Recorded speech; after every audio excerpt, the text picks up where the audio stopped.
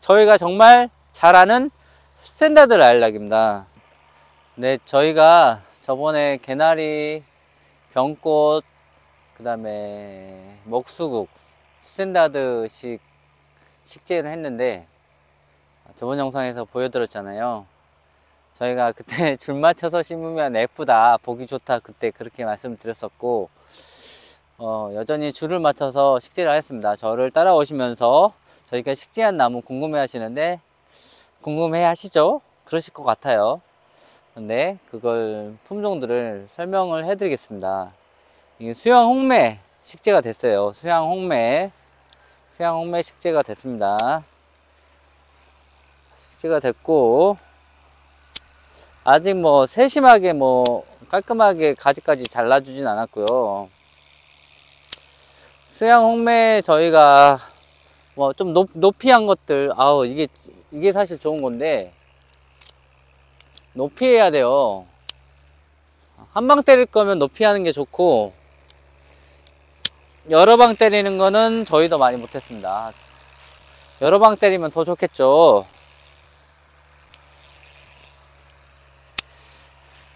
수양홍매 이거 연생이 좀 된 것들이에요. 근데 수양홍매를 지주를 세, 지주로 이렇게 인위적으로 잡지 않으면 잘 안 펴져요. 이 밑에서부터 이게 이게 저접한 건데 수양홍매가 저절로 막 서지는 않습니다. 그래서 지주대로 유인 작업 해줘야 돼요. 이건 이건 수양 백매인데 이게 보세요.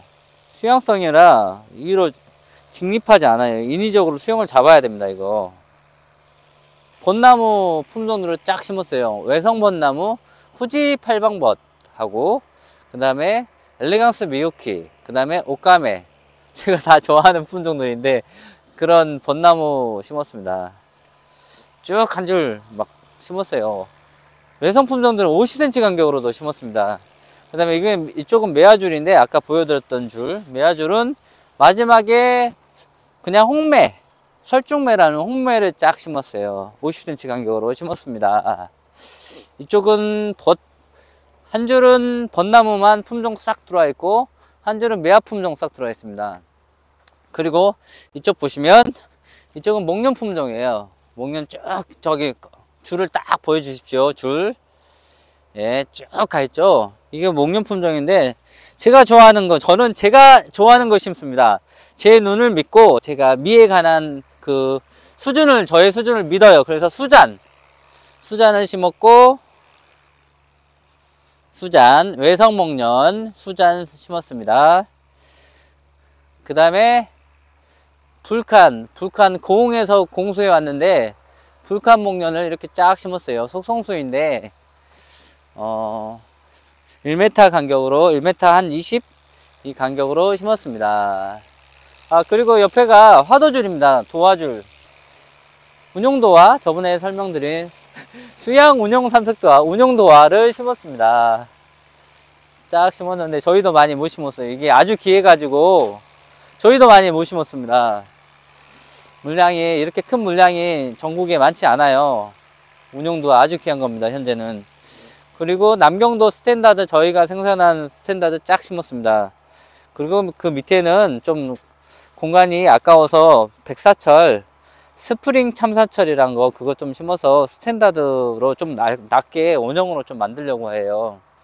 그리고 이거 맥신메리 공공에서 공수, 해온 맥신메리를 쫙 심었습니다.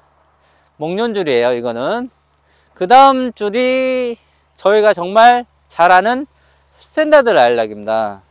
저희가 이 스탠다드 라일락을 10년 정도 전에 생산했는데요. 수입 들어온 건 스탠다드 라일락이 유럽에서 한국에 수입 들어온 것이 5, 6년 됐나? 저는 근데 저희는 10년 전부터 이것을 생산을 했습니다. 물론 대량은 아니지만요. 근데 이제 대량 생산을 하게 되었어요.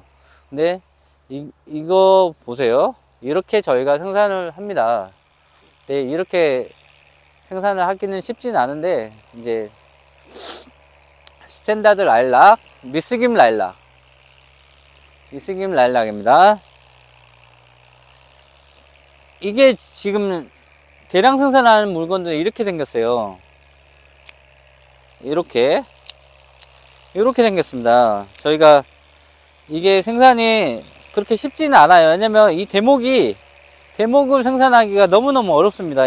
유럽의 라일락, 뭐 미스김이나 팔리빈이나 뭐 Dark Purple, Pink Perfume 이런 것들이 스탠다드형으로 생산이 돼서 한국에 수입이 들어오는데 대목은 저희 이곳들 농장에 쓰고 있는 대목이 훨씬 좋습니다.